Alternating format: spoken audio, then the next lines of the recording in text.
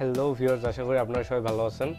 তো আজকের টপিকটা হচ্ছে, আমরা যখন কল রেকর্ড করতে যাই, তখন দেখা যায় যে অপর প্রান্তের যে ব্যক্তিটি থাকে, তার কাছে ভয় চলে যায় যে রেকর্ড করতেছি, সে সেটা জানতে পারে। আসলে এটা অনেকের কাছে অনেকটা বিরক্তিকর লাগে। আমরা অনেকে চাই না যে অপর প্রান্তের মানুষটি জানুক, আমরা তার ভয়েসটা রেকর্ড করতেছি। আমাদের কাছে এটা ভালো লাগে না। আজকের ভিডিওটা হচ্ছে এটা কীভাবে এড়িয়ে চলা যায় এবং কি করলে এটা থেকে মুক্ত হওয়া যায়, সেটাই আজকে দেখব।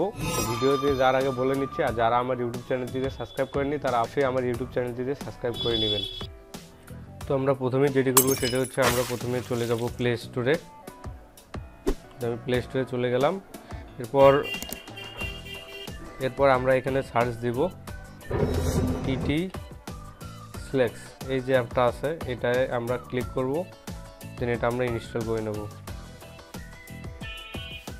তো আমার ইনস্টল হয়ে গেছে।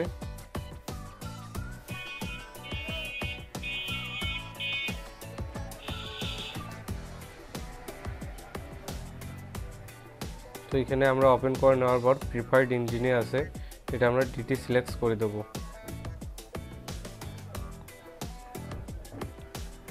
তো আমরা আবারও যাব সেটিংয়ে সেটিংয়ে যাওয়ার পর এখানে search Dev.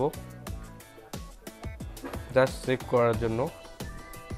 Text to speech লিখে সার্চ দেব। তারপর প্রিফার্ড ইঞ্জিন এটা টিটি সিলেক্ট করা আছে। আপনারা চাইলে এটা করতে পারেন, আবার নাও করা পারেন।